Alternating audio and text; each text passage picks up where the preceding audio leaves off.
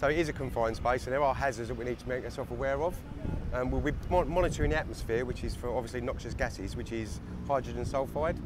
Um, these, it's a bit, the gas monitors will, will monitor these at all times and if it does go off, don't panic because someone will be there to obviously help you put your equipment on. Yeah?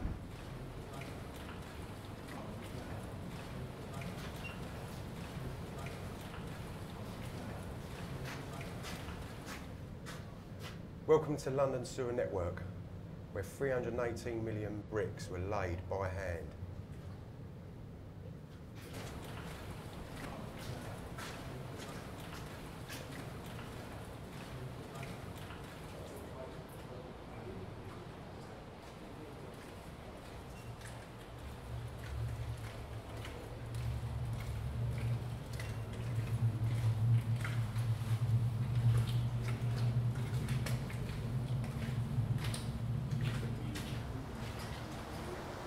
So as you can see, this is the Fleet Sewer.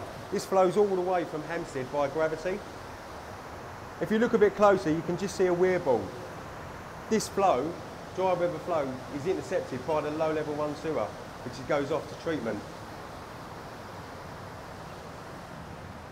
So in storm conditions, it can be up to 10 cumecs coming through this, one of four portals. That's 10 tonne of water. So as London Sewer Network is a combined system, in storm conditions it is designed to discharge naturally to river, saving homes and businesses from flooding.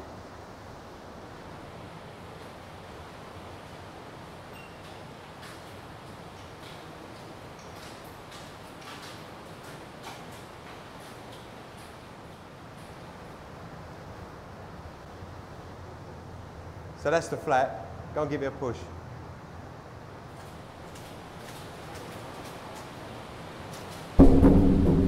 Noisy, very creepy. So this is the Fleet Sewer. This currently discharges up to twice a week. Flow comes via these flaps into this chamber, through these culverts. You can just make out the district line, the old Metropolitan line. And beneath Blackfriars Bridge are two outfall flaps.